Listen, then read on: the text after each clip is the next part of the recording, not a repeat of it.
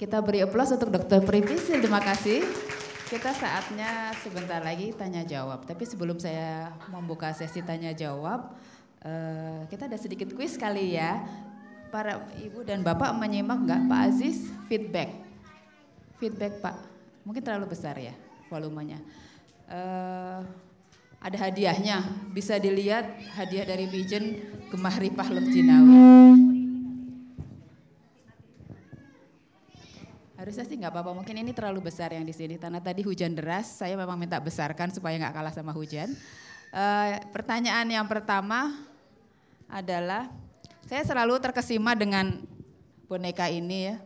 Karena seperti layaknya bayi betul ya.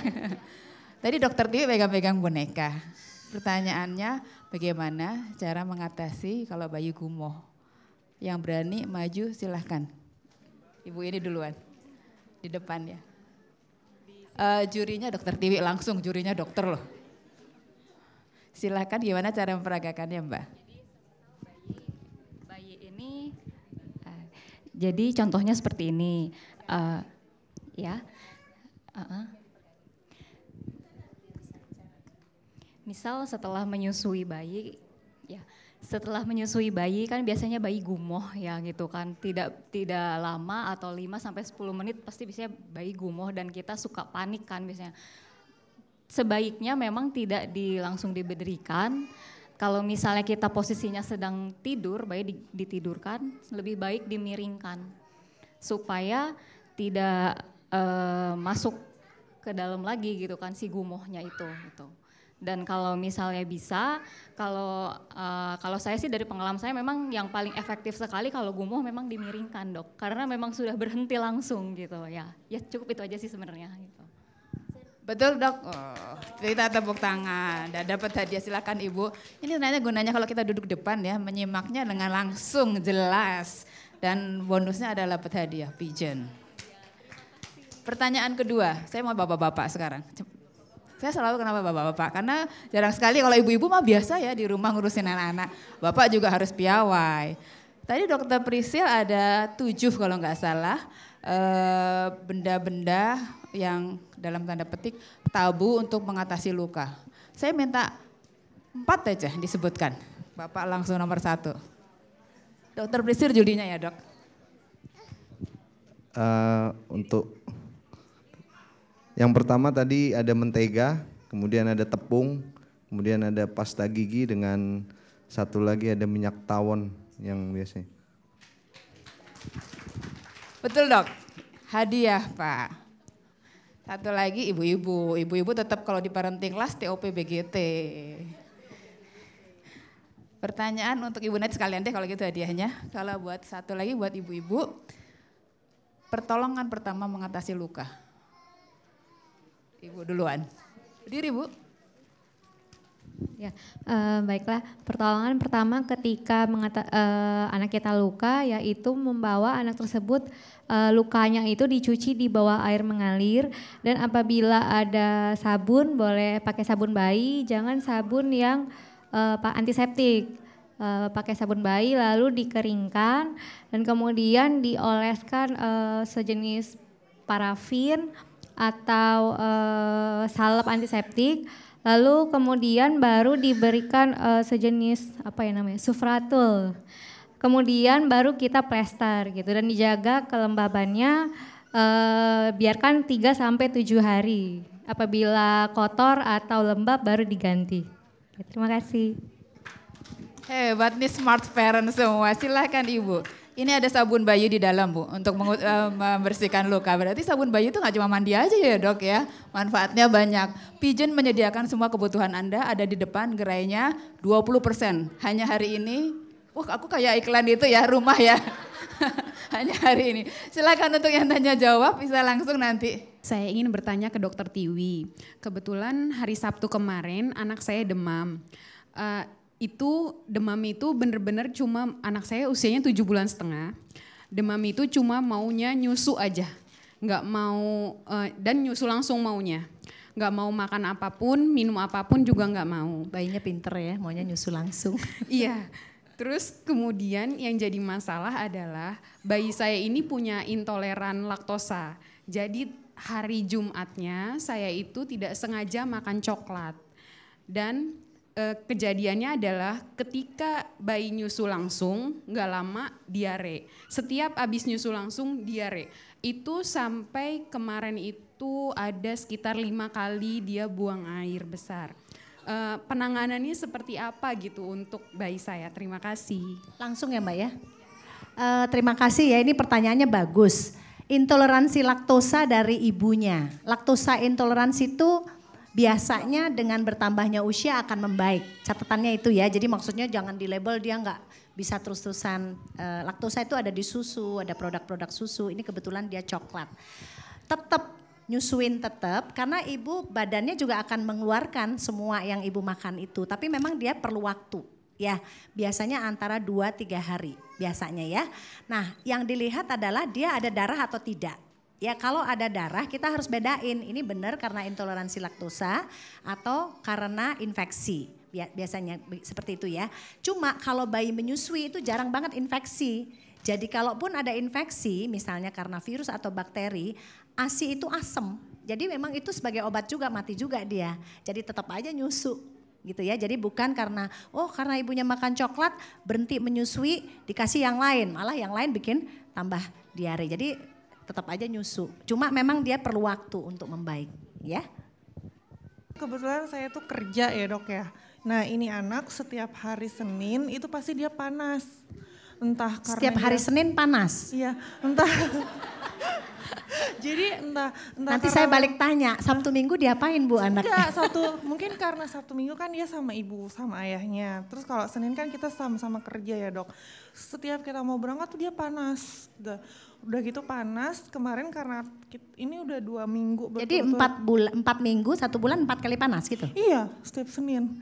Dan kemarin tuh karena kayak udah kok begini terus ya, akhirnya kita coba ke dokter. Kita ke dokter, kebetulan dia uh, batuk pilek. Tapi pas saya pikir ya udahlah kita ke dokter tapi saya absen dulu ke kantor. Kita pulang kerja itu dingin dok. Turun uh, pertama tuh 38,9 terus saya pulang 38,5 ke rumah sakit itu 36 sampai dokternya nanya ini kenapa bu? Anaknya nggak kenapa-napa. Terus kan dia juga batuk pilek ya dok kalau batuk pilek itu kalau tadi kan hanya demam itu kan nggak pakai obat kalau batuk pilek itu selain kita olesin transpulmin, transpulmin sama briti itu ada solusi lain gak dok? Ya. Terima kasih pertanyaannya. Ini pertanyaan yang sehari-hari juga kita temuin. Setiap weekend, habis weekend anaknya sakit. Saya sering kali uh, mengatakan bahwa sehat itu gampang. Satu, makan sehat, cukup minum, tidurnya cukup. Sama kalau udah gede sport. Itu cuma empat itu aja. Nah biasanya di kota-kota seperti Jakarta ini tiap weekend saya sering nih lihat di mall. itu anak kalau diajak ke mall itu pasti kan entah dehidrasi, entah banyak paparan penyakit. Ibu kunjungan tiap minggunya ke mana bu? Coba sekarang perhatikan, kalau ibu ajak anaknya outdoor, ya, maksudnya kalau di luar itu kan nggak sirkulasinya kan lebih bagus. Ya, cuma jangan juga seharian. Misalnya dibawa ke pantai seharian, ya sakit ya. Ya, tapi coba ibu bedakan, karena saya mesti bertanya lagi, itu nggak semua orang tua seperti itu. Tapi khas banget kalau weekend mainnya tuh ke tempat-tempat yang bukan tempatnya bayi. Ya, yang biasanya saya lihat itu tadi jam setengah sembilan masih di mall anak ya. Jadi kalau yang pasien saya biasanya pada ngumpet tuh melipir. Tapi artinya mereka enggak cocok dibawa ke sana karena itu enggak boleh kalau tiap minggu. Anak itu sakit 11 kali dalam setahun normal. Tapi kalau satu bulan empat kali itu enggak normal. Pasti ada sesuatu siklus yang ibu harus potong gitu ya. Kemudian tadi batuk pilek obatnya apa? Saya paling seneng tuh nyusuin kalau ada matahari jemur kasih cairan banyak. Ya, kemudian Eh, barang-barang yang membuat dia berlendir itu harus diminimalkan. Yang sering itu ya sirkulasi di kamar ya minimalkan barang, kemudian jangan terus karena kalau ibu pakai sang AC kan dia harus terus menerus sirkulasinya jadi tertutup. Jadi itu yang harus ibu perhatikan. Ya obat-obatan sebetulnya prinsipnya tidak harus asal dia bisa tidur malam terutama ya. Kalau dia nggak bisa tidur mungkin kita perlu obat-obatan. Sama hindari makanan-makanan yang bikin tambah batuk. Buah itu bagus banget tapi pada bayi ada banyak buah yang bikin dia batuk. misalnya jeruk itu batuk biasanya. Pisang itu biasanya batuk. Saya biasanya selalu bilang kalau batuk pokoknya makannya apel pepaya alpukat pir gitu ya itu kemudian dairy produk kayak biskuit itu juga suka bikin berlendir. Jadi hindari makanan-makanan yang seperti itu. Saya rasa sih penggunaan obat kita bisa minimalkan. Terima kasih. Selamat Silakan. siang. Ya, ya. Dokter Dewi, selamat siang. Eh, saya mau tanya, jadi kan karena kita berdua setiap harinya kerja, kemudian anak di daycare, baru sebulan ini di daycare sebenarnya. Cuman seminggu setelah di daycare, setelah tujuh bulan nggak pernah sakit, tiba-tiba langsung sakit. Nah sakitnya berawal dari panas. karena saya sering nonton dokter TV-TV di YouTube, uh, saya nggak nggak panik nih, ya udahlah biarin aja panas, uh, disusuin lama-lama dingin. Tapi enggak, lama-lama jadi ada jadi batuk, jadi pilek Cuman uh, akhirnya karena udah dimarahin neneknya suruh bawa ke dokter, akhirnya kita bawa ke dokter. Setelah di dokter uh, akhirnya dikasih obat biasa. Uh, kalau memang parah tiga hari kemudian, kemudian dikasih antibiotiknya. Kita kasih antibiotik, habis itu sudah mereda, namun seminggu kemudian sakit lagi.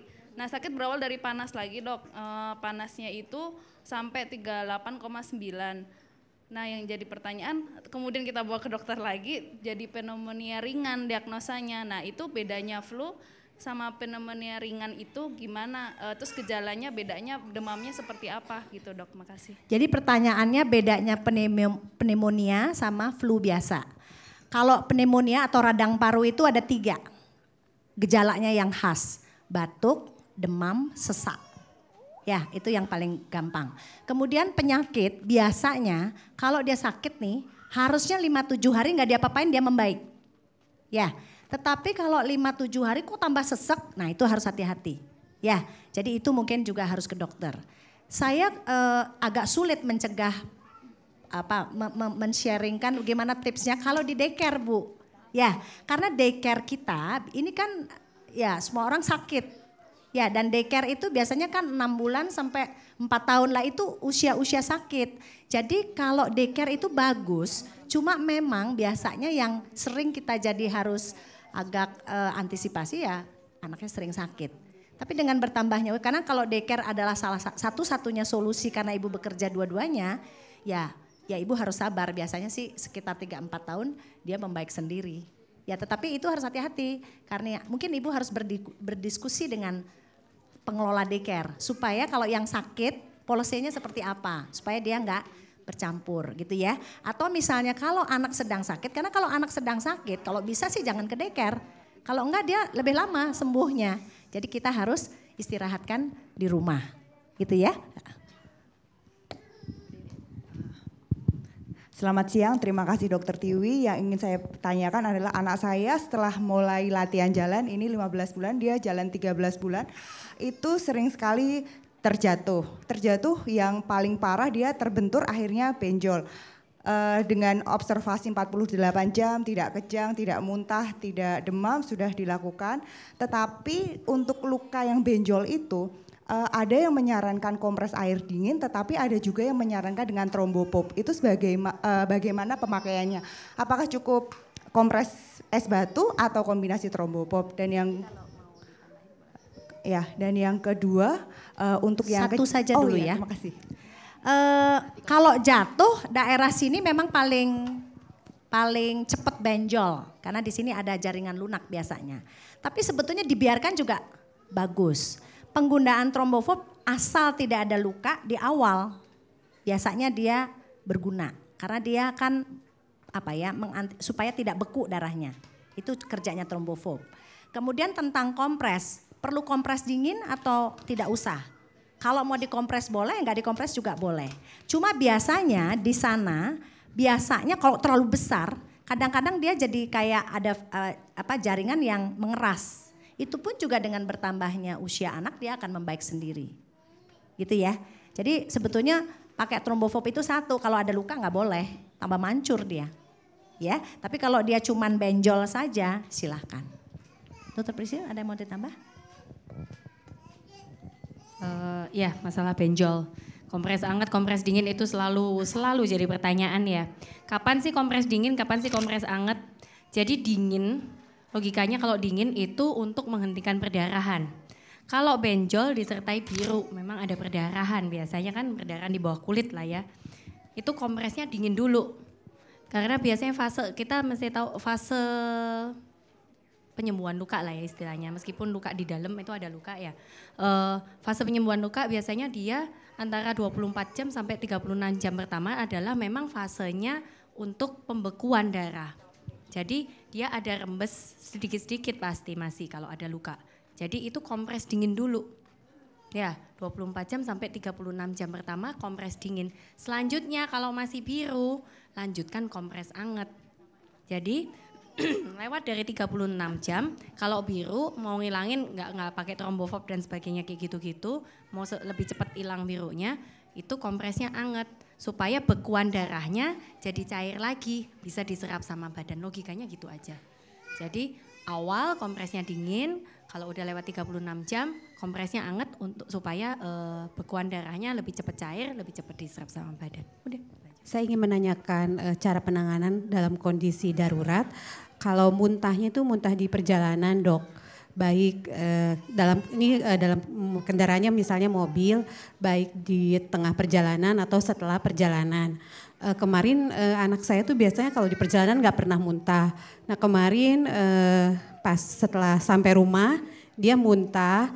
Saya kasih minum muntah lagi saya susuin muntah tapi sih eh, belakangan sih tetap membaik Cuma untuk antisipasi aja ke depannya kalau misalnya terjadi lagi seperti apa dok. Terima kasih. Ya, terima kasih. Muntah itu sebetulnya prinsipnya itu kan e, minuman atau makanan yang ada di dalam lambung. Ya, jadi kalau dia lagi muntah-muntah banget justru kalau bisa jangan dia yang ngatur kita. Maksudnya kalau nyusu kan dia yang ngatur. Jadi kasih cairan kita yang ngatur pelan-pelan. Karena kalau lambung misalnya kapasitasnya kalau 7 bulan misalnya 100 cc. Kalau kita kasih 5 mili mungkin dia uh, tapi nggak sampai keluar. Tapi kalau dia karena dia kan haus biasanya. Terus dia mau nyusu malah tambah keluar banyak. Jadi kalau misalnya tidak ada uh, maksudnya tidak ada fasilitas, tidak ada obat, tidak ada apa. Nomor satu seperti dipuasakan atau kita kasih minumnya dia jangan dia yang uh, jangan mau mau baiknya, tapi kita yang memberi sedikit sedikit. Ya, biasanya muntah itu 2-3 jam akan membaik. Asal jangan dirangsang dengan pemberian minum dan makan yang berlebihan, malah dia tambah panjang. Ya, jadi kalau kita uh, ya umur uh, sekitar 2-3 jam aja kita pelan-pelan aja ya, nggak akan dehidrasi dia kalau kita sebentar. Kalau dia terlalu muntah-muntah ya ibu harus ke emergency. Tapi kalau di awal cuman karena perjalanan mungkin karena goncangan atau karena anak lelah, muntah dia, jangan terlalu dia yang minum atau kita yang ngasih karena kita uh, muntahnya banyak kita kasih lagi minum.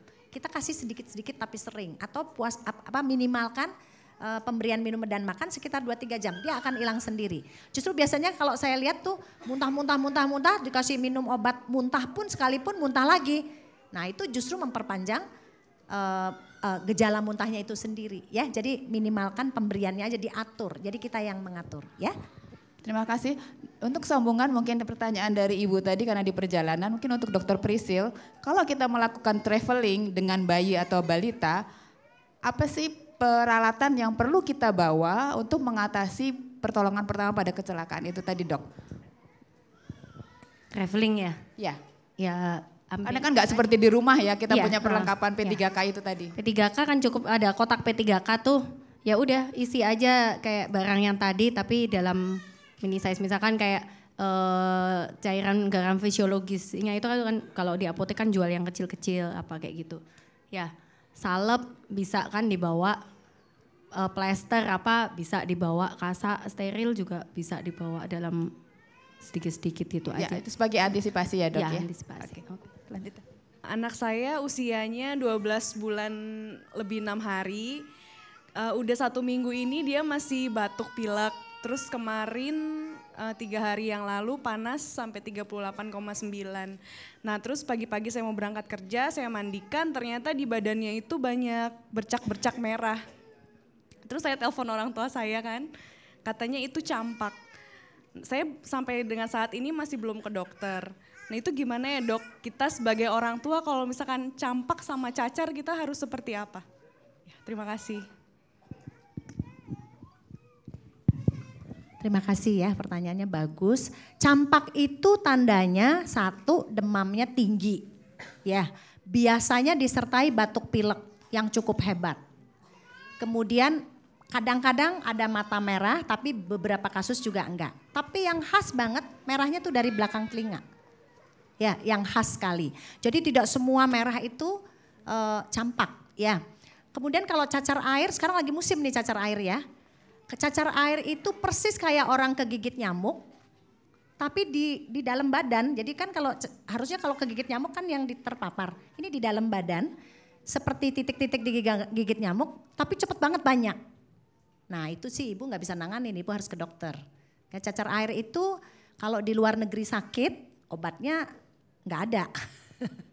Tapi kalau kita di sini punya, jadi 24 jam justru harus pergi ke dokter. Kalau udah jelas sampai ke muka-muka, susah ngobatinnya. Jadi ya udah, dia ngelinding aja gitu. Tapi cacar air bukan penyakit bahaya, hanya sangat infectious ya, jadi sangat menular. Ya, sekarang lagi musim ya, jadi tandanya begitu waktu mandiin itu dilihat nih, oh ada titik satu, entar sore dia udah banyak. Nah itu harus pergi ke dokter. Dokter tutup kayak emergency. Biasanya dokter-dokter jaga kita udah jago-jago mereka. Kalau nggak bisa dia WhatsApp kita, dok ini nih, udah kita kasih instruksi, gitu ya, mudah.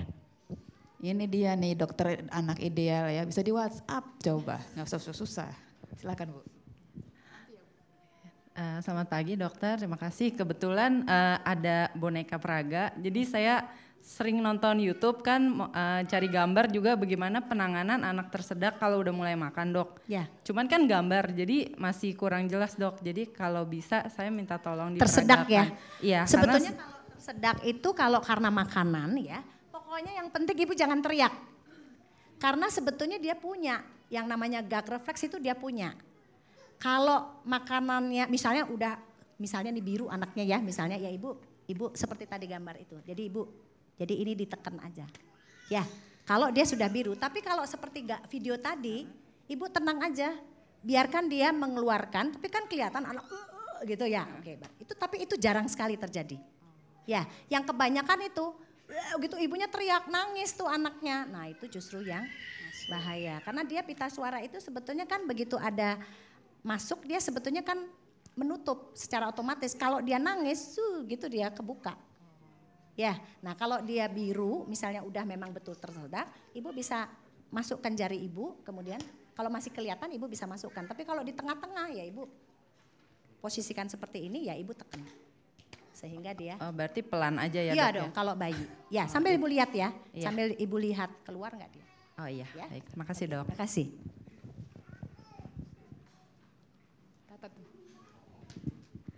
Baik dok, terima kasih kesempatannya. Yang ingin saya tanyakan adalah uh, dua minggu yang lalu, seminggu pertama itu anak saya diare. Jadi pupnya itu cair dan tidak pekat. Terus uh, kemudian uh, lima ha- setelah lima hari saya bawa ke dokter anak, uh, diresepkan untuk diberi uh, laktobi dan ap- satu lagi saya lupa.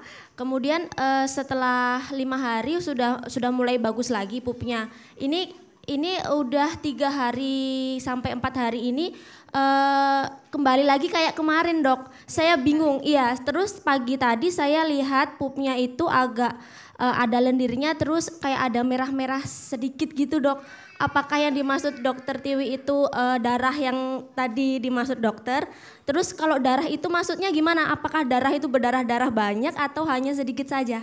Ya, terima Ya, kasih. Terima kasih. Ini diare sekarang lagi musim. Ya, diare ini banyak sekali sekarang dan sangat menular.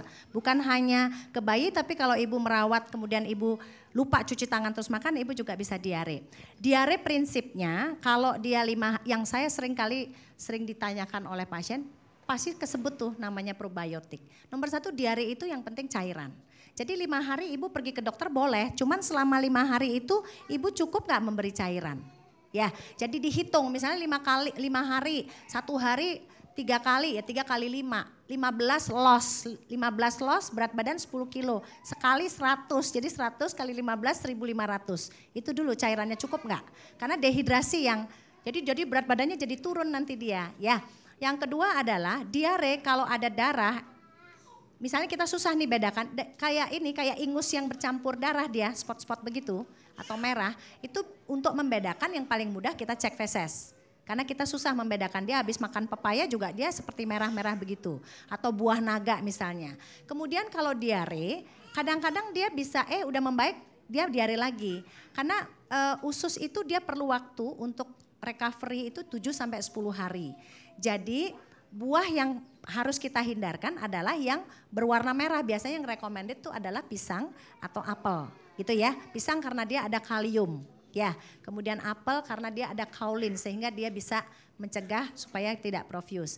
Tapi untuk membedakan karena diare itu kalau dia masuk ke minggu kedua itu dia harus pergi ke dokter karena diare itu tidak boleh lebih dari tujuh hari tidak boleh. Kalau dia lebih dari tujuh hari, terus ada ingus-ingus seperti ada lendir atau darah ya kita harus eh, melihat ini penyebabnya apa. Apakah karena makanannya yang udah membaik terus kasih makanan yang keliru dia mencret lagi atau memang prosesnya tidak pernah membaik dari awal.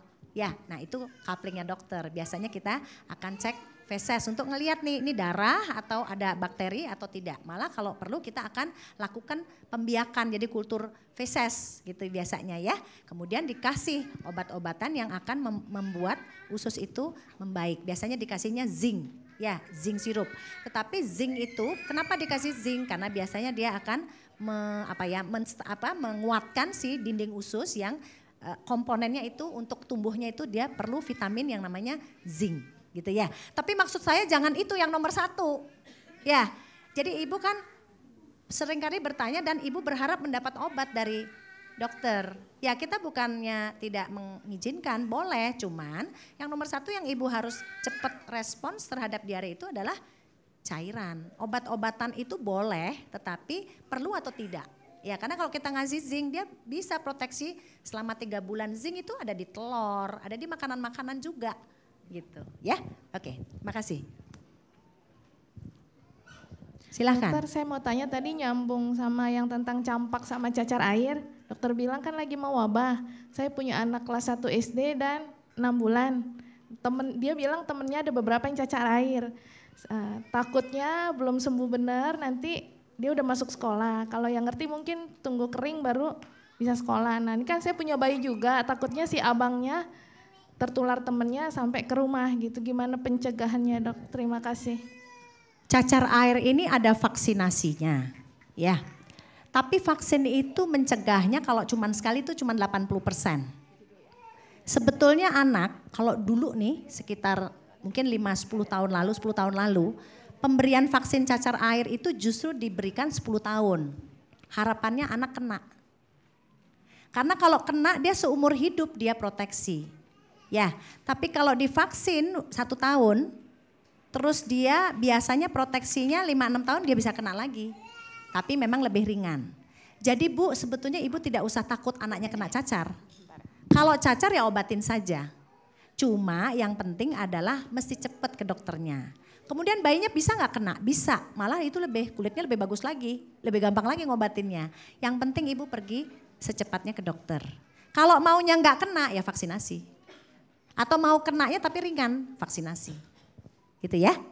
Anak saya Kenandra umur 12 bulan. Seminggu ini kemarin dia kena batu pilek dok sampai nggak bisa tidur. Eh, terus batuknya itu kayak yang eh, ada dahaknya gitu loh dok di dalam sama apa susah makan ya. Terus bagaimana cara penanganan untuk eh, mengeluarkan dahak dokter? Jadi saya tuh sampai aduh gimana sih dia ini kayaknya dia itu mau oh, oh, oh, tapi kita tuh nggak bisa sebagai orang tua. Kemudian boleh nggak sih dok dikasih esensial esensial oil itu dok yang se- sekarang lagi in? Terima kasih dokter. Essential oil sih silahkan karena kan pemakaiannya luar, tapi berefek atau tidak ya itu ibu mesti lihat anaknya. Pena, eh, mekanisme anak mengeluarkan eh, lendir itu memang tidak dengan mengeluarkan ya seperti eh, kita atau anak-anak yang lebih besar. Lendir itu kan ada di pernafasan. Kalau dia batuk sebetulnya dia pindah ke pencernaan, jadi dia akan telan. Mungkin kalau dia susah untuk menelan itu kita bisa kasih air putih. Air putih itu juga pengencer dahak yang paling natural. Kemudian beberapa bayi sering kali susah nih ng- ngasih air, gampang ngenalinnya. Kasih aja kayak seperti orang ngasih obat. Jadi satu sendok makan misalnya. Ya terus saja nanti dia akan membaik. Cuman batuk hati-hati tetap ya. Kalau bayi di bawah setahun, batuk tuh lebih dari tujuh hari bertambah berat itu ibu tetap harus kita evaluasi ya. Takutnya nanti dia ke bawah ya. Sekarang ini di samping penyakit lagi banyak nih.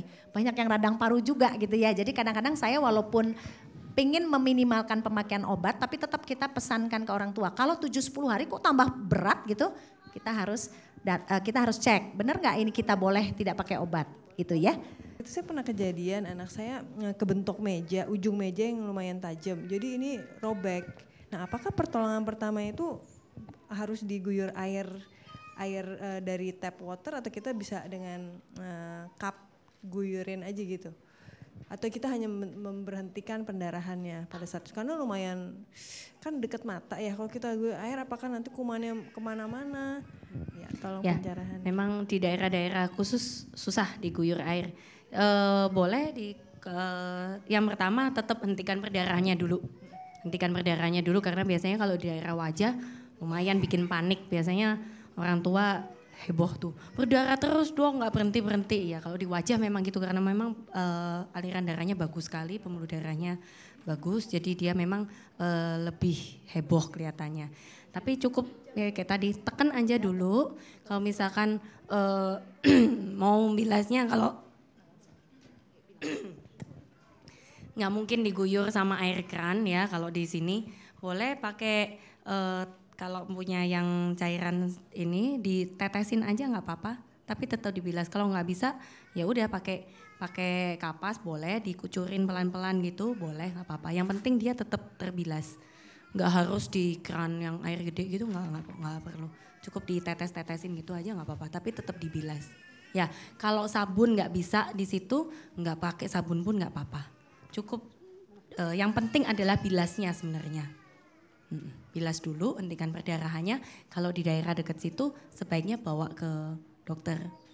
Ya, supaya bisa dikasih ini salep-salepnya yang lebih pas. Ya, gitu. Uh, boleh, boleh. Kalau punya di rumah lebih bagus lagi. Tetap. Jadi itu kan saya tadi ngomong uh, penanganan pertama di rumah. Jadi kalau ada bahan itu di rumah, ya pakein dulu. Setelah dipakein, udah tenang semuanya, bawa ke dokter kalau udah daerahnya dekat mata dan sebagainya lebih baik bawa ke dokter. Ya. Petroleum petroleum nggak bisa. Makanya tadi saya nah uh, nggak boleh kena mata sorry. Uh, saya tadi yang di slide awal-awal yang di bahan-bahan awal kenapa saya masukinnya salep antibiotik? Yang saya masukin itu salep mata. Ya.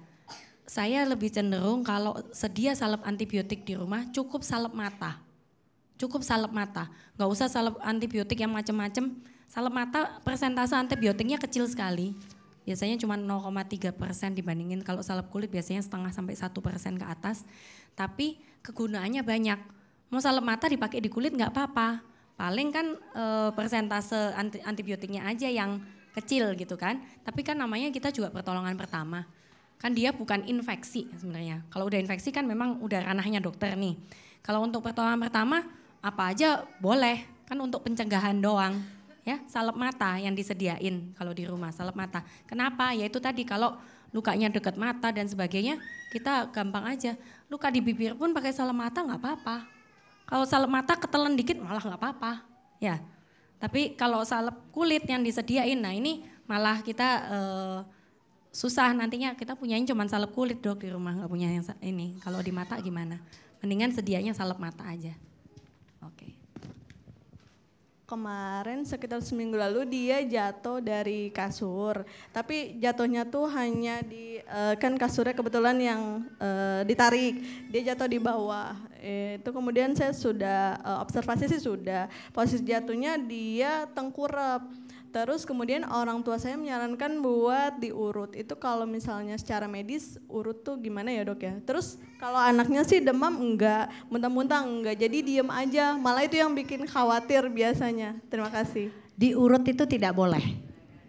Ya, pokoknya segala bentuk jatuh itu jangan diurut. Ya, diurut malah bikin bertambah problemnya nanti. Ya, jadi lebih bagus tidak. Ya. Uh, saya mau tanya tentang kejang demam. Dulu saya waktu kecil pernah demam kata mama saya umur 8 bulan sama 4 tahun. Jadi sampai sekarang kalau anak saya demam di atas 38 saya udah mulai takut dan biasanya kasih uh, penurun panas. Anaknya uh, kejang pernah? Belum, belum. Mudah-mudahan tidak dok. Uh, minggu lalu anak saya yang uh, besar 2 tahun 11 bulan uh, demam tinggi sampai 40 derajat. Lalu saya bawa ke UGD. Di sana sih uh, udah saya minumin penurun panas sejam kemudian nggak turun. Kasih susu nggak mau, nggak mau minum katanya semuanya pahit. Jadinya saya bawa ke UGD cuma dikasih apa paracetamol tapi yang lewat uh, anus. Nah, sebaiknya apa saya harus uh, apa aja apa aja sih dok yang saya harus punya di rumah seperti yang tadi dia sepam, terus apa paracetamol yang dari anus itu harus. Terus kalau memang sudah terlanjur sampai demam, apa anaknya itu harus diposisikan seperti apa?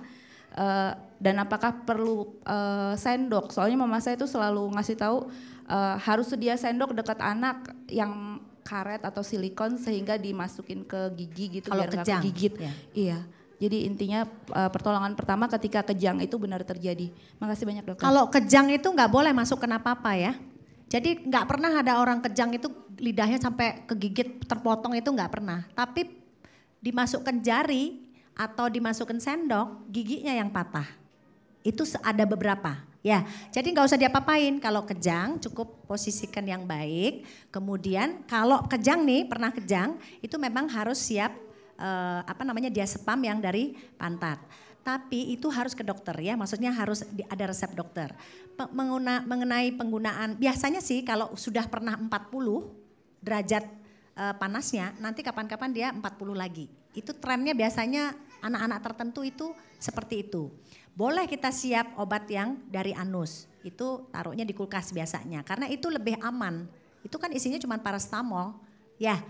Eh, karena kenapa? Karena begitu dia, jadi jangan 38 dimasukin, nggak. Itu kan prinsipnya dia bisa encer kalau kita masukin. Tetapi memang ada yang bentuknya cairan. Nah kalau misalnya kita pakai, misalnya anak yang susah minum obat, gitu ya. Tapi kok 38 mah nggak usah diapa-apain kan? Kalau 40 anak biasanya tidak nyaman.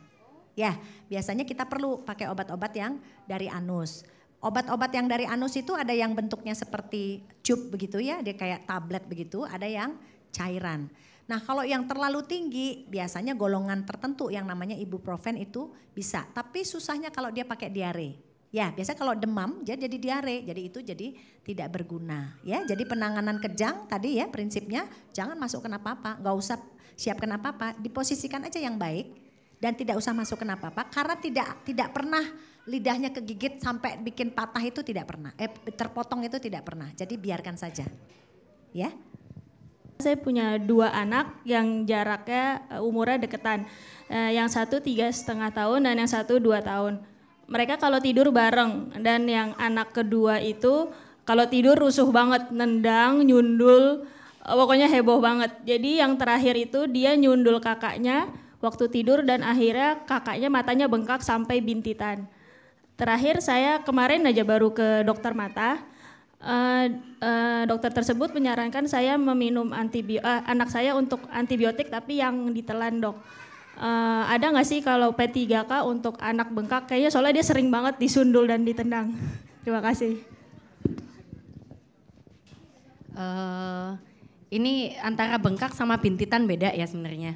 Ya, kalau ketendang bengkak, ya itu tadi penanganan pertama. Apalagi kalau kena mata dan sebagainya, kompres dingin aja dulu. Ya, kompres dingin. Kalau kita kompres dingin itu nggak nggak cuman sekali ya. Jadi karena tadi saya bilang kan fasenya dia masih ada rembesan sedikit-sedikit itu sampai eh, 24 jam 36 jam pertama, sebaiknya kompres dingin agak sering. Biasanya sih saya kalau nyaranin kalau bisa dua jam sekali kompres dingin, 10 menit aja cukup. Nanti dua jam sekali kompres dingin. Tapi kalau anaknya lagi tidur ya jangan dikompresin terus, nanti dia juga nggak nggak nggak nyaman juga ya. Kompres dingin cukup kalau untuk eh, bengkaknya aja. Nah kalau untuk bintitan lain lagi ceritanya. Mungkin dokter Tiwi bisa nambahin untuk bintitan nih. Saya baru mau cari-cari dokter Martin.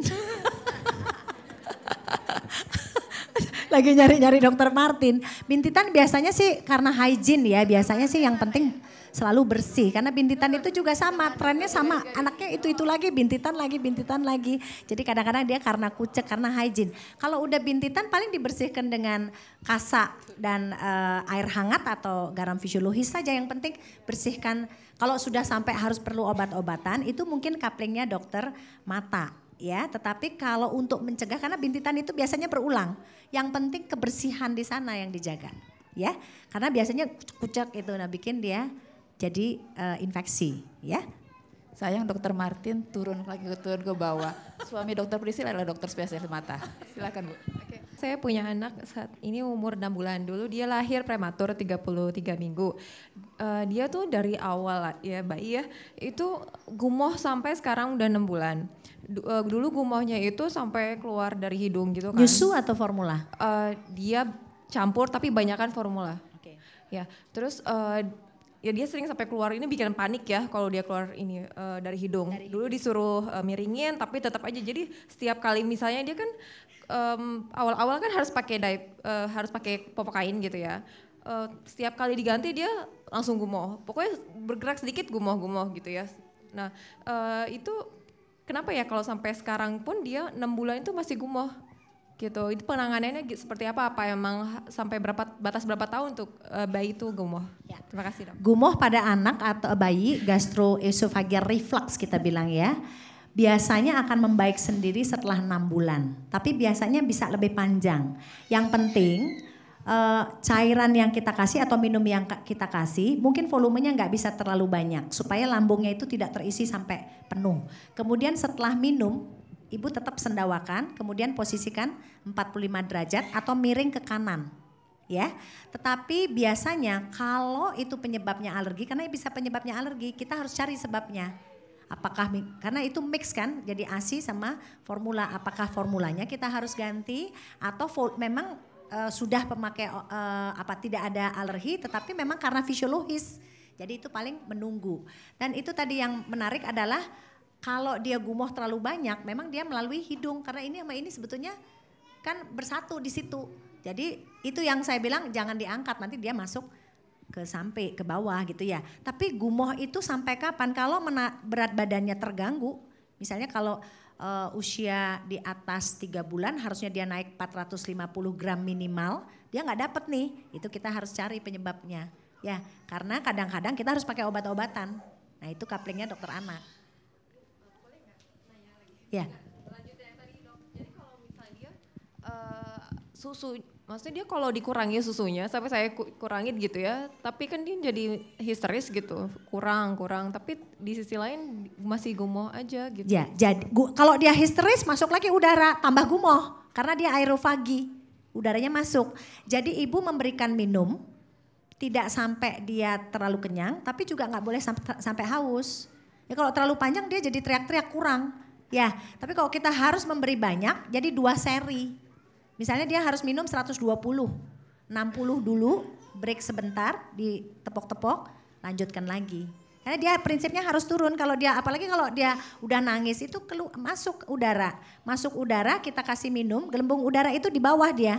Makanya kita harus sendawakan dan gelembung itu tidak keluar semua, masih ada beberapa. Sehingga kadang-kadang kita udah sendawahin, terus kita miringkan sedikit dia gumoh lagi. Nah kalau terlalu berlebih sehingga mengganggu berat badan itu memang kita harus memakai obat-obatan yang dia harus cepat turun, cepat ke usus 12 jari. Ya, nah itu dokter anak yang punya bidang ya. Jadi anak saya ini uh, rutinitas setiap hari itu ada pasti bermain di luar. Dan biasanya kalau udah selesai main di luar dapat oleh-olehnya itu gigitan serangga. Baik itu nyamuk maupun mungkin yang bikin agak memar gitu ya sedikit. Nah, itu penanganannya apakah sama dengan tadi mungkin memar jatuh atau uh, luka yang lainnya?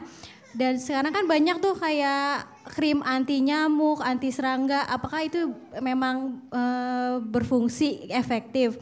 Karena apalagi ngurangi rasa gatal gitu kan dia juga sering garuk-garuk. Apakah itu juga bisa dipakaikan atau seperti apa? Terima kasih.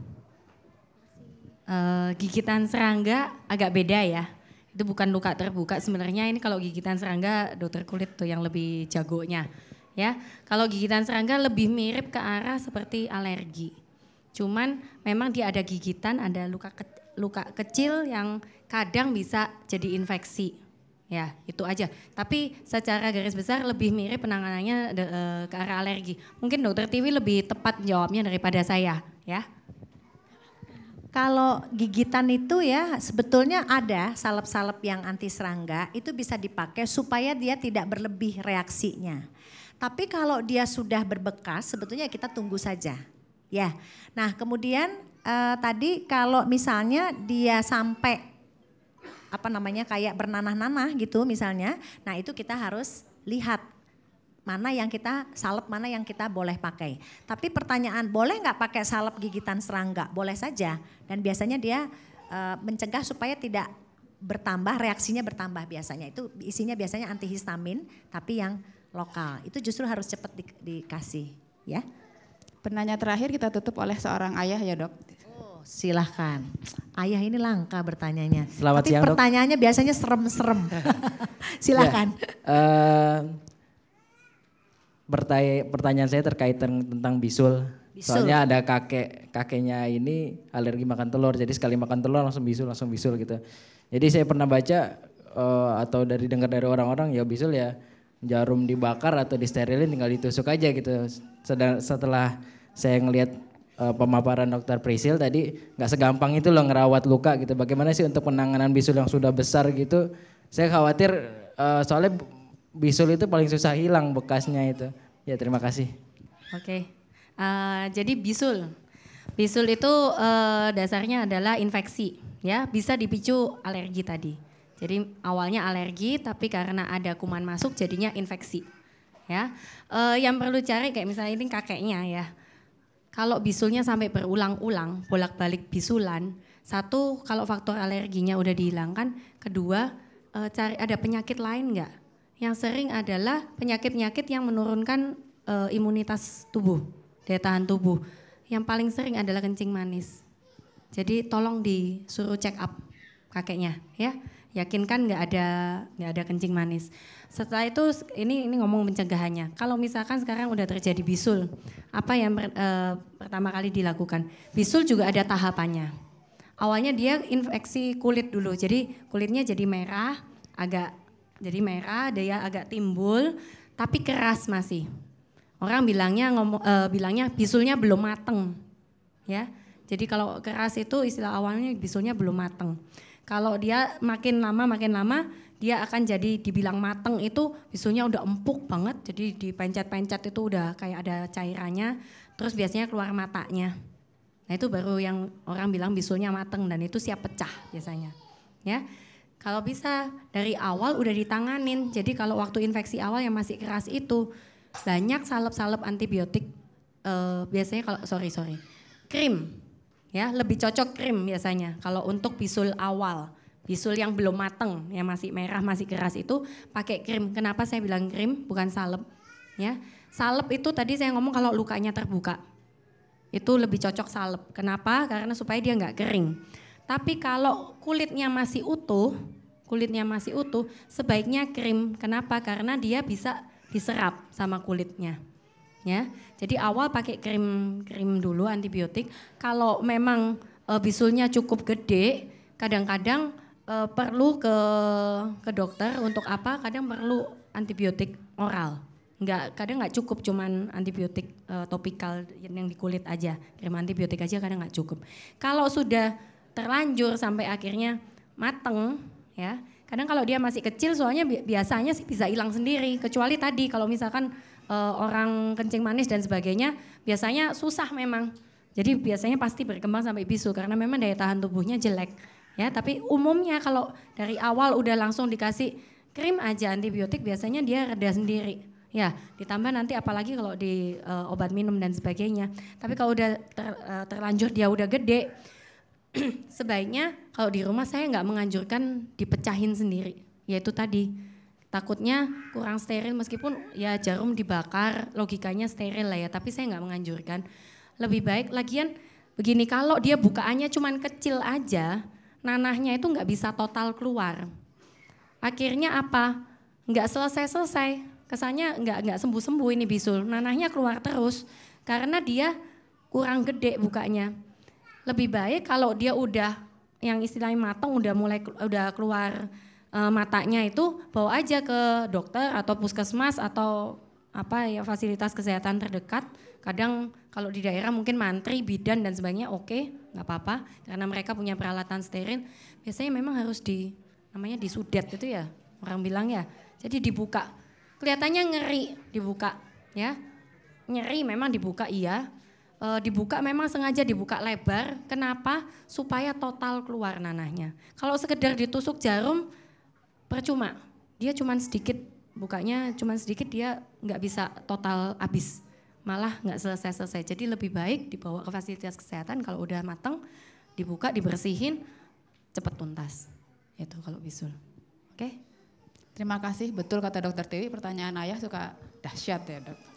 Terima kasih untuk pertanyaannya. Kalau masih ada yang ditanyakan nanti kalau dokter Tiwi, dokter Prisis masih ada di sini, monggo silahkan. Kita akhiri acara kita dengan aplaus bersama. Saya ingatkan kembali, tanggal 19 Maret, eh, tanggalnya sama 19 Maret, harinya Minggu, eh, nanti bulan depan eh, kita adakan lagi dengan tema yang hips memang, selalu ditunggu makanan pendamping ASI. Silahkan boleh daftar ke dokter eh sorry ke Mbak Harti di depan. Dokter Martin kebetulan datang, dok. Tadi dicari-cari dokter Tiwi, jadi nggak saya tutup lagi nih. Soalnya ada yang tanya tentang bintitan ya, dok. Jadi mohon sedikit pencerahan dok buat kami tentang bintitan itu gimana sih pada anak karena suka terjadi. Oh ada yang nanya dulu. Oke. Dapat job ya. Oke, bintitan itu sebenarnya sama seperti prinsipnya bisul di pantat, seperti jerawat di pipi. Prinsipnya dia adalah e, infeksi pada kelenjar-kelenjar di sekitar kelopak mata kita. Biasanya akibat kotor. Penyebab utama habis pegang apa, habis pegang apa. Memang ada beberapa kasus itu dia e, pada beberapa anak bintitan lebih mudah terjadi. Orang-orang bilang nggak boleh makan telur dan sebagainya. Sebenarnya uh, ada beberapa memang uh, yang sensitif terhadap makanan tertentu, produksi dari kelenjar minyak di kelopak mata kita itu jadi lebih banyak. Kalau lebih banyak, lebih mudah mampet. Jadi kalau misalnya ada kuman masuk, biasanya dia bisa aktif keluar sendiri. Ini enggak, karena dia kental, mampet. Jadi ada beberapa kasus uh, timbulnya lebih lebih cepat lah, ya lebih cepat. Terus apa yang harus ditanganin pertama? Mudah. Hal yang pertama adalah kompres hangat dulu. Itu yang pertama, nggak usah pakai obat macam-macam. Kompres hangat, kenapa? Pada waktu kita kena hangat, kulit kita kena air hangat aja warnanya kan merah, ya kan? Artinya pada waktu kita kompres hangat itu pembuluh darah melebar. Daya tahan tubuh kita sendiri akan ke sana. Dia otomatis akan turun dengan sendirinya. Tapi kalau dalam periode sekitar dua hari atau tiga hari dia jadi lebih parah, kita bisa tambahin dengan salep antibiotik. Ya, salep. Tapi salep itu sering kali penggunaannya salah kalau salep mata. Seringkali yang digunain, oh ada bintitan di luar gini, dikasih dioles di kulitnya. Padahal salep mata sebenarnya paling efektif dia penyerapannya di mukosa, artinya di bagian dalam. Ah dok ngeri bagian dalam. Memang caranya begitu. Dok bintitannya di atas nih. Cara kasih salepnya gimana? Tarik aja kelopak matanya, kasih masuk ke dalam. Kedip-kedip nanti dia rata ke atas sendiri. Di luar ditambahin boleh, tapi masuk ke dalam itu harus. Dan ingat, yang meskipun pakai salep mata pun, kompres hangat harus tetap. Jadi misalnya, oh kita mau kasih salep mata nih, kompres hangat dulu 10 menit sebelumnya, setelah itu salep mata dikasihin. Kenapa? Begitu pembuluh darahnya melebar, salep matanya penyerapannya sangat bagus. Ya. Dok, perlu sampai kasih obat minum enggak? Kalau bintitan biasa tidak, kecuali kalau kalau misalnya dia sampai membengkak, membesar, batasnya enggak tegas itu yang kita sebut sebagai preseptal selulitis artinya dia bukan terbatas sama satu daerah satu kelenjar kecil tapi dia mulai menyebar ya pada saat itu kita akan kasih antibiotik minum tapi di luar itu enggak perlu Hal yang pertama, kompres hangat saja cukup. Siapa yang tanya tadi? Wah, udah, ya? udah beres. Ini okay, namanya ya. beli satu gratis satu. Terima kasih dokter Martin, silakan. Berarti ini sekarang betul-betul saya tutup sesuai janji. Dokter sih datang tiba-tiba udah ditutup, jadi kena ketiban sampur dok itu namanya. uh, jadi kita hari ini makin lengkap ya ilmunya dari dokter Martin, spesialis mata. Beliau sekali lagi praktek di klinik Mata Nusantara di mana dok? Kedoya dok di mana dok? Di Kedoya. Di Kedoya. Eh di mana? Di Kemayoran. Kemayoran dengan Bojarok. Cari dokter Martin di KMN nanti ya. Uh, terima kasih kepada dokter Prisil, dokter Tiwi dan dokter Martin.